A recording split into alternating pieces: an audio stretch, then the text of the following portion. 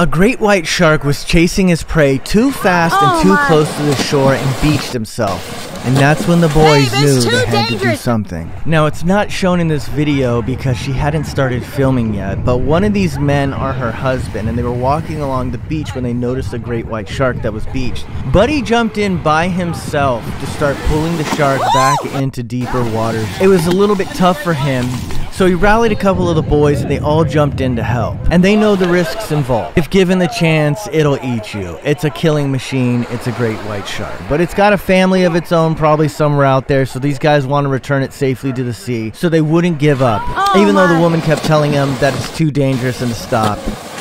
It's too dangerous. Don't be doing that. Part of the reason we're probably here as humans is not just to watch movies and post Instagram videos, but to take care of the animals and help them when they are in need. So they persisted, and even though the shark doesn't turn around and wave goodbye, I'm very confident he was thankful for their efforts in rescuing him.